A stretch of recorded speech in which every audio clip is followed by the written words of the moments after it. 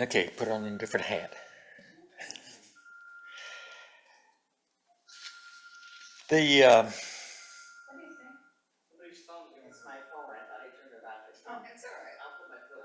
it. yeah, there you go. Put your foot on it.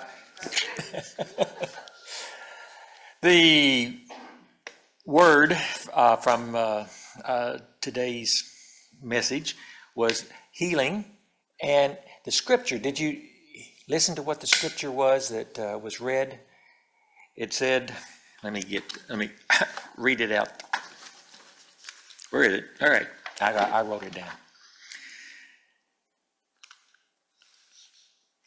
When Jesus saw him lying there and learned that he had been in this condition for a long time, he asked him, Do you want to get well?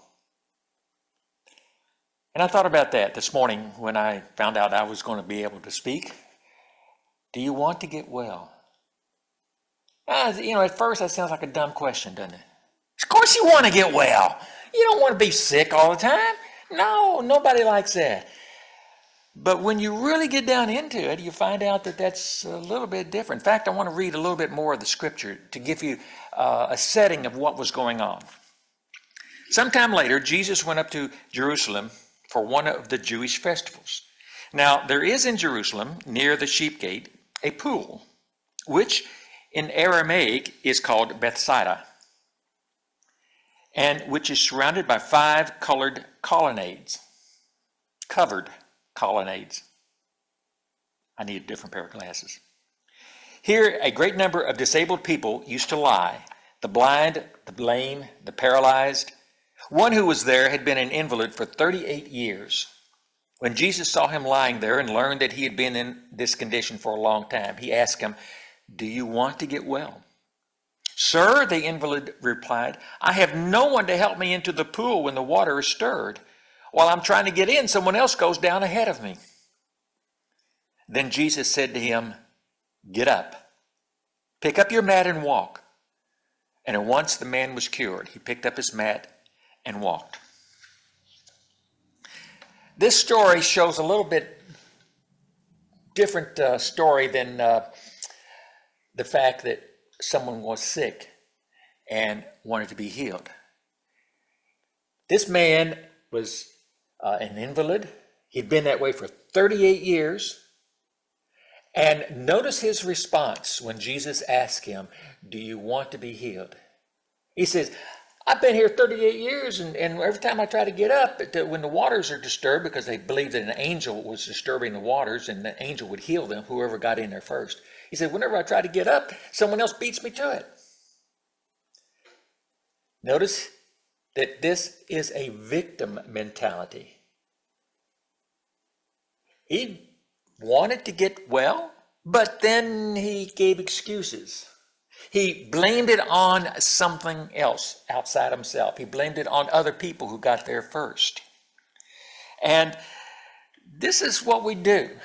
We, uh, uh, when we get sick or have a condition or something like that, we, we like to blame it on, on something that maybe, uh, uh, you know, it can it prevents us from doing certain things that uh, people think we ought to do or we think we ought to do or something like that. I know, uh, do I have this on? Yeah, okay. I know that for myself, when, uh, when, when I amputated those two fingers, that uh, uh, for a, about a you know a long time afterwards, people treated me like an invalid and did not want me to do anything, wouldn't allow me to do anything. I guess they thought I was going to cut off some more fingers. Uh, you know, knowing me, it's, you know, maybe maybe so. And I, you know, at first it was it was fine. You know, okay, you know, I'd get a little sympathy and uh, uh, things like that. But as it went on and on and on, about a month after it happened, I said, you know, I'm getting tired of feeling like this, feeling people feeling like I'm an invalid. I'm getting tired of acting like one. So I said, I'm going to go and do anything I want to do and do whatever I want to do that I can do. And I got up and that's what I did. Now, that's uh, maybe this isn't a good example of what uh, was going on with Jesus because in this story, this man had secondary benefits that he enjoyed more than being well. Secondary benefits was it wasn't a really great life, but he could beg, people would give him something. He didn't have to work, he didn't have any responsibilities, he didn't have to do anything. People didn't expect anything of him.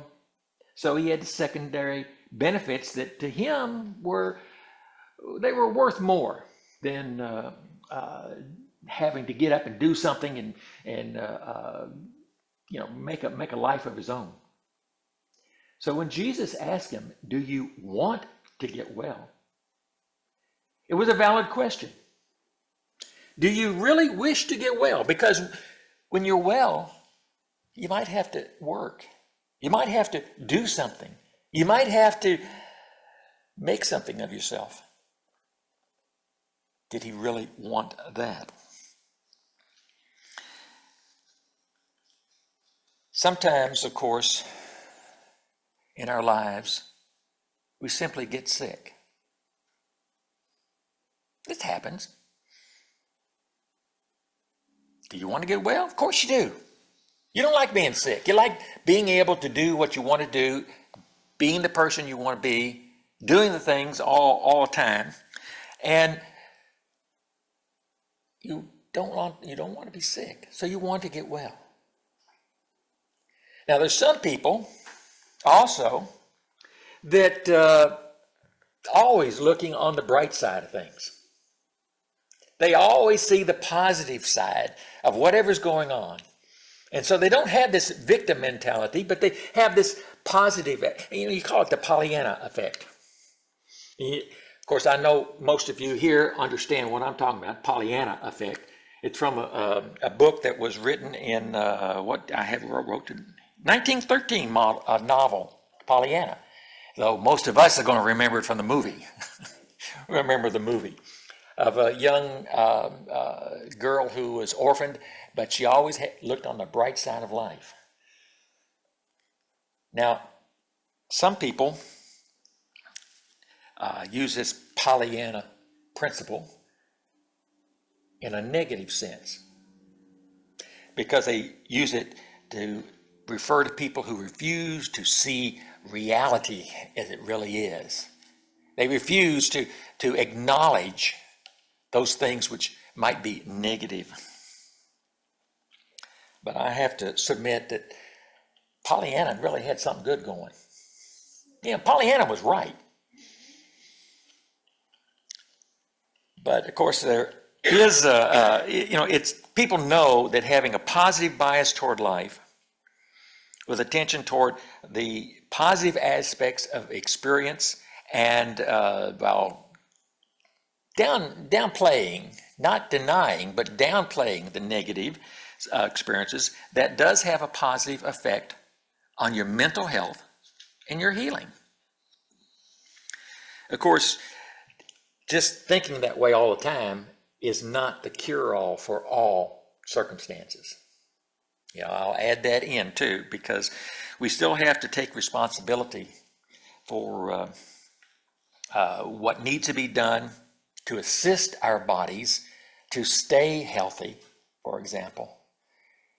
Oh, I can say all the affirmations I want to say, but if I don't exercise, if I don't eat correctly, if I don't do that, it will help me somewhat, but not totally. My body still needs those physical things that I have to do. So you have to, you know, have to look at that. And if you have, uh, that's why uh, we the, the good Lord gave us minds to find out what medicines we can take. Of course, we've maybe gone overboard with that a little bit, but uh, a little bit, a uh, whole lot. But anyway, it's uh, um, we still have to do things on our own to take responsibility for our condition. Now,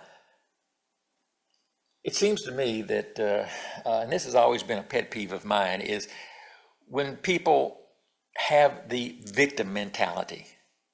And maybe something's happened to them. Maybe they, uh, like one instant, I had uh, a person in my church who inherited a disease. In fact, all the women in the family inherited this disease from their mother. That uh, uh, usually it uh, made you your life shorter, and it uh, made you kind of I don't know exactly, but uh, it uh, was disabling in a way. And so they kind of blamed the disease for everything and why they couldn't do anything. And yet they did not want to take responsibility for saying, okay, this is where I am, this is what I've got. Now, what can I do about it to make it the best I can? What can I do to make my life the most productive and uh, you know my experience in here in this earth? What can I do to make it the best? No, they would just, oh, poor me, you know, I got this problem and I can't do anything about it. I, it's not my fault, and and so uh, you know, that's I just had to can't just had to live with it, and it's not fun. That was their attitude. And when I told them essentially that uh, they needed to take responsibility on their own, saying, "Hey, this is where I am. I have to do something about it," they heard you need to take responsibility for that disease or that uh, problem, which you know they didn't they didn't have any responsibility for that. They they just was inherited, so they uh, didn't understand what I was saying. But uh, yeah, it's uh, possible to choose your life, to choose what you're going to do in life to choose, you know, even if you're totally disabled, you still have choices to make that life the best possible. Now, I've, I once thought, you know, if, if I couldn't do anything, if I was uh, in bed and, and not able to move or anything like that, at least I could pray. So, you know, I always thought, well, there's something I can do. The problem with the man in the uh, scriptures was that he was a victim in his own mind. And he didn't try to get better. Thinking that he needed to get down into those waters in order to be healed, he blamed everyone else. Well, they got there first. I don't have a chance. So he delayed his own health. And what did he need? He needed someone with authority to say, You can do it. You get up and walk. And that's what Jesus did. He said to him, Get up, take up your mat, and walk. He gave him permission to do something about his own condition.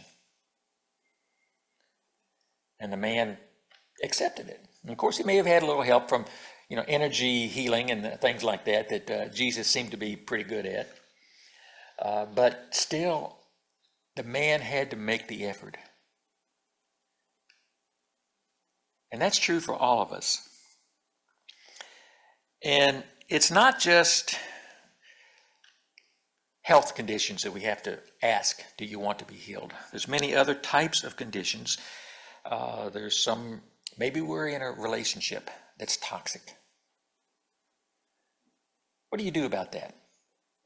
Do you just sit there and live with it, put up with it, despise it, or do you decide to do something about it to change that relationship? What do you do? I see some of you, hmm, yeah, okay. or what about. Um, having a bad habit that seems to just control you a lot. Maybe, uh, uh, you know, you, you have a, uh, I'll talk about myself here. You know, I have a bad habit of eating chocolate. That's a good habit, yeah. I, everyone says, oh, that's good. Well, not really, because I know that chocolate, I'm a little allergic to chocolate. But I eat as much of it as I can and I find out that you know I really shouldn't eat as much as I do, and uh, uh, I go over to uh, the uh, grocery outlet up here, and they have this one area which has chocolate in it, And I stop by there every so often and look and say, what they got that's, that's inexpensive yet chocolate, full chocolate. And when they do have these little things, I grab a bunch of them. It's a bad habit because I know that the chocolate helps me to keep this weight on, which I'd like to get rid of a few more pounds. I've gained 13 pounds in the last six months, so it's time to uh, to kind of cut down a little bit. And yes, I gained a pound last night uh, too, uh, eating out. So uh, we have things that are we have to ask ourselves: Do I want to be healed? And even uh, maybe you have low self-esteem, like you just can't, you just don't feel like you can do anything right, and uh, uh, everyone, uh, no one likes you, or, or something like that. That's something that you can do something about yourself, but you have to choose to do it. You have to choose, and you need, you might need someone to come along and says, "Okay, you have my, you have permission to go ahead and do whatever you need to do." To feel better. You just someone just needs to give you permission. That's what Jesus did in, in the example here. He gave the man permission. Maybe you have financial worries that make you feel bad, feel low, feel down. Oh, I'm so far in debt. I don't know what I'm going to do. We all have those kind of uh, uh, things going on in our lives. And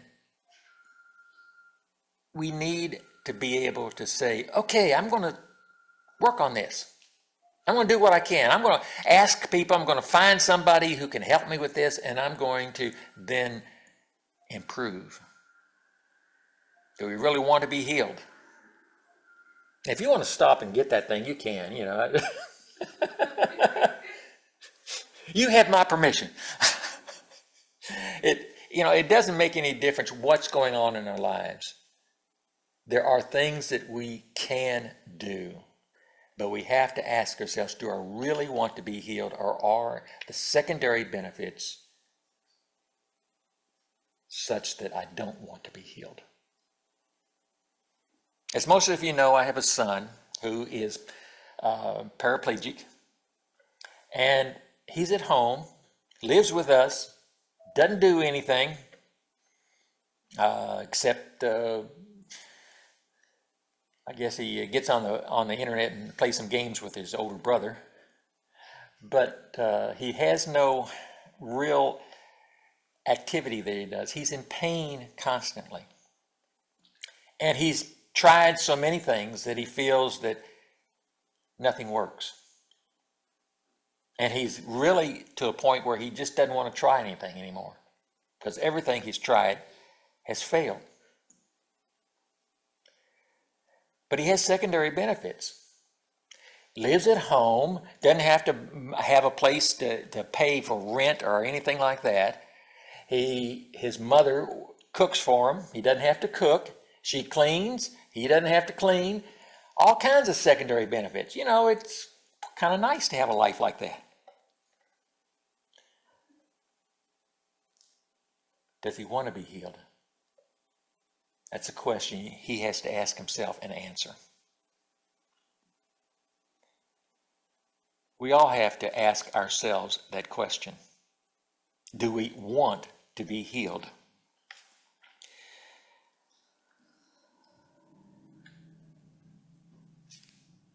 You know, the Course in Miracles, and also I think uh, uh, the uh, unity principles would tell us that there is one power and that we are, as the uh, uh, Course in Miracles says, we are whole and complete as God created us.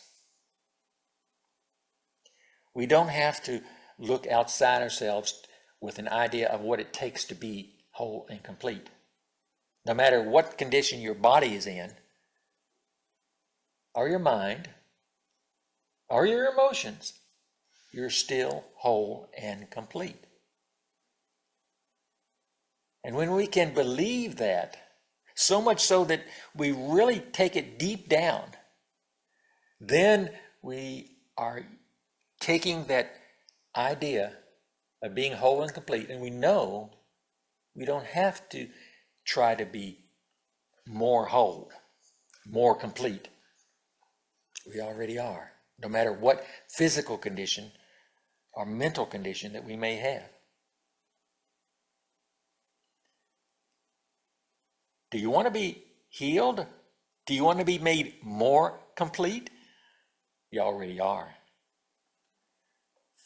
The thing is, can you accept it and then see what you can do with what you have? Use what you have or do without, my mom always used to tell me. So that's an idea too. Use what you have in your life and then use that to do what you can do. And that makes you realize that you are already whole and complete. So ask yourself that question Do you really want to be healed? Do you want to be whole? Or do you just need someone to tell you, you have my permission to realize you are already whole and complete? Maybe that's all we need, just something like that. Maybe you're in a situation, something like, something like that right now. Maybe it's a relationship, maybe it's a, a condition with something going on in your life. Does anyone want to share a little bit about maybe, you know, if they're in a, something like that, or something, a condition where you have maybe felt a little bit as a victim, but now you say, well, you know, I really can do something about that. Do you might want to share anything like that? I've told you a couple of stories. Uh, Merlin, would you get the uh, microphone and help? Yeah, it's up up there, and maybe give somebody and let them share. Who who? Raise your hand again. Okay. I don't need that. Well, the Zoom people do. Yeah. Well, I think I want to be 14 or 16 again so we don't ache. And you can do everything you did then and not hurt. But I think that's a little unrealistic, but I'm not giving up on that hope. Well, you know, you don't have to be able to uh, uh, look 14 or 16 or whatever, and you also, uh, but you want to feel that way. That's what you you want to feel like you're that way. And sure, you know there are there are ways that we can do exercises for for movement for uh, whatever. We can begin to uh, uh, our joints, you know, get those get those going again, what have you, so that we can truly feel younger. Even uh, um, getting something just to give you more energy. You know, find ways of uh, maybe the the food we eat, the diet we have, the vitamins. Uh, I'm looking at that myself right now. So I used to think I was 16 up till I was in my 40s, and then uh, I began to feel my age. But uh, yeah, Well, the hardest part is to accept that we're not 16 anymore. yeah, yeah. That's, That's the, the other hardest thing. That's part. what you can do. That's another thing you can do. You're not 16. well,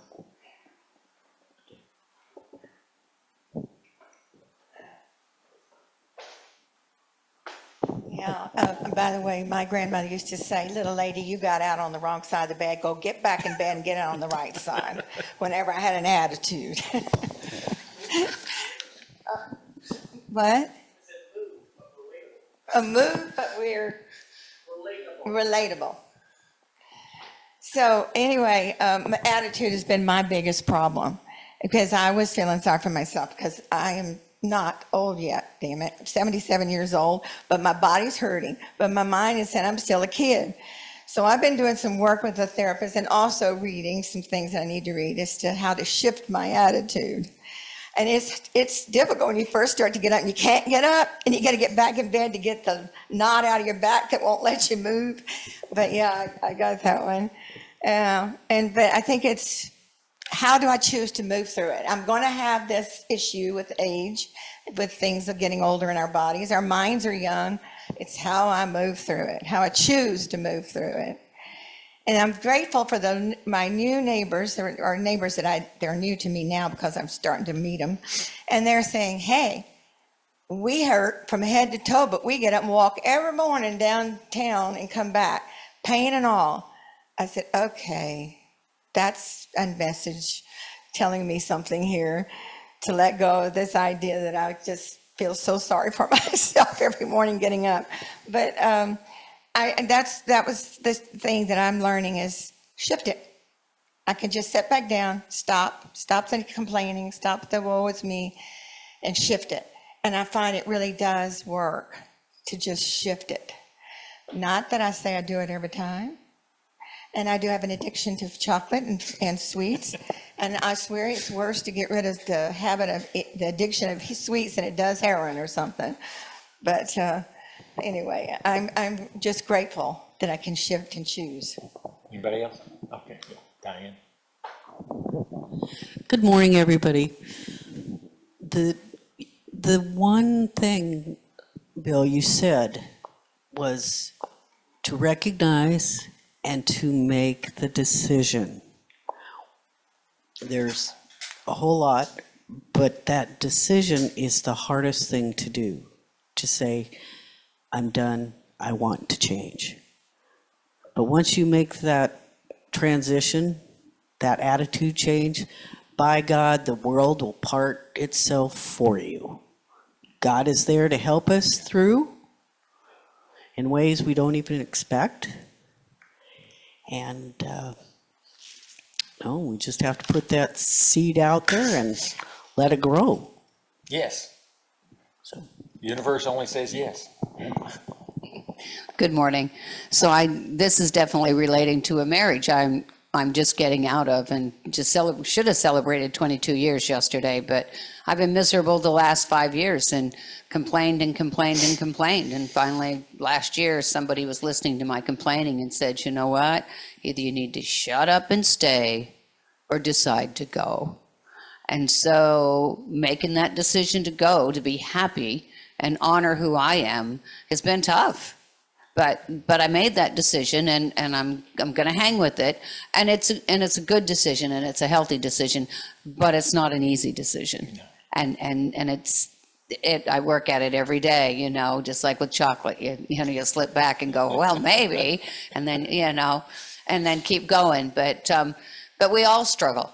We all have those struggles and we just, I think the, you know, the universe just wants us to learn how to master what, what we have to master and, and to just get stronger. And that's where our power comes from is, is, is getting stronger in, in those convictions. So thanks for your talk today. I appreciate it. You're right. Anyone else?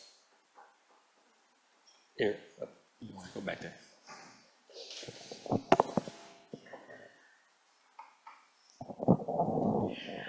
Our, fri- our friend, our friend BA uh, told us uh, when he was here uh, about uh, handling, he said, you can tell it twice, but then after that, three times? Did he say th- three times? We could say it three times.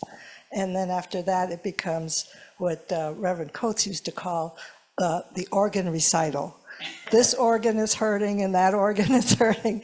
And so um, it- it's something that when we decide that we are whole and complete, that nothing can take away from us, that's when we feel the power. And then we've tried to find the gift in it. What is it teaching me about my strength? What is it teaching me about my courage? You know, that that is the learning uh, with it. And there have been many situations in my life when I've had to really take a look at is what benefits am I getting from complaining about this? Well, that's got to stop. I got to move on and claim my power. And I think that's what's so incredible about unity teaching and about what Jesus has taught us is take what you've got and make it a strength. They become what uh, we learned a couple, couple of weeks ago, last week, whatever, uh, two weeks ago. They become POGs, POG, potential opportunity for growth. So everything in your life becomes that. And can you grow from it? And that's healing. That is becoming one. If there's nothing else on that, we'd like to have a moment for meditation. So uh, go to the next slide. Y'all can't see it, but uh, you know they can see it. Uh, just relax and feel comfortable in the way that you're sitting, and know that you are whole and complete. Take a deep breath.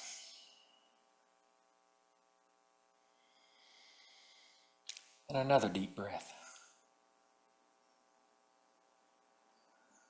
And as you are breathing like that, you can feel the just the energy, the energy that dwells within you, the energy that really is part of who you are because you are whole and complete. And as you breathe in and breathe out, just accept the fact that you are. You are as God created you. Sure, there are situations that seem to eat at us and, and uh, take us backwards or make us go the wrong way for a little while.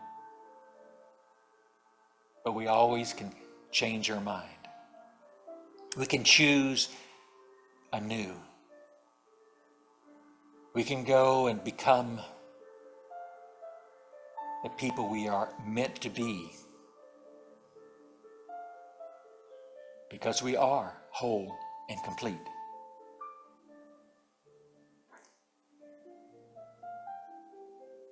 Take another deep breath. Feel yourself in that pew or wherever you are at home.